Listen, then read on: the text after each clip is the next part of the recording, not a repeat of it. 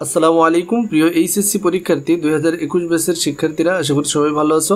তোমাদের সপ্তম সপ্তাহের অ্যাসাইনমেন্ট প্রকাশিত হয়েছে। আজকের এই ভিডিওতে আমি ইতিহাসের অ্যাসাইনমেন্ট ইতিহাস অ্যাসাইনমেন্টের সমাধান নিয়ে আলোচনা করব। তো চলো প্রথমে দেখে আসি এই সপ্তাহের অ্যাসাইনমেন্টে প্রশ্নটা কেমন আসছে। এই সপ্তাহে তোমাদের অ্যাসাইনমেন্ট আসছে চতুর্থ অধ্যায়, পাকিস্তানি আমলে বাংলা ভাষা আন্দোলন ও এর গতি ও প্রকৃতি নিয়ে।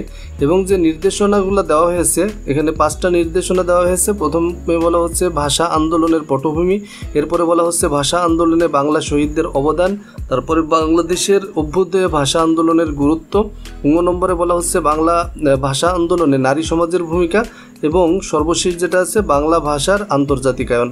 তো এই কন্ডিশনগুলোর আলোকে তোমাদের অ্যাসাইনমেন্টের উত্তরটি কেমন হতে পারে দেখে নিই তবে এখানে বলি, তোমাদের এখানে হয়তো উত্তরটা একটু বড় করে দেওয়া থাকে, কারণ যাতে তোমরা এর ভিতর থেকে বাছাই করে নিজেদের মতো করে সুন্দরভাবে লিখতে পারো। তো বন্ধুরা, চলো আমরা মূল ভিডিওটি দেখে আসি।